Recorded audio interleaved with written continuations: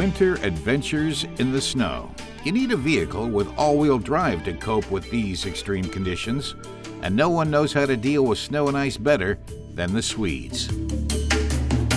From the outside, the new cross-country model doesn't look very different from a standard V90, apart from its protective body cladding and a ground clearance of 21 centimeters. It also comes with typical Volvo LED headlights. The crossover model aims to combine design with functionality.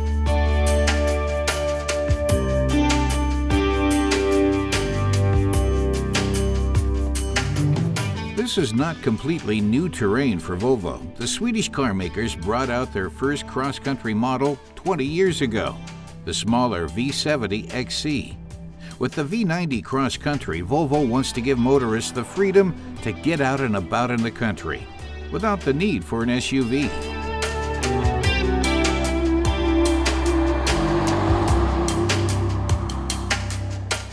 All-wheel drive comes as standard in the luxury vehicle. We're testing the most powerful diesel D5 Pro with an output of 173 kilowatts. It takes the practically two-ton vehicle 7.5 seconds to accelerate from 0 to 100 kilometers an hour. In Germany, the car will set you back around 63,500 euros.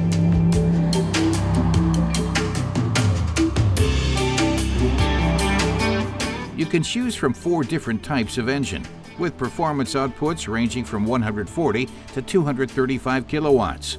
Volvo wants access to as many possible markets worldwide.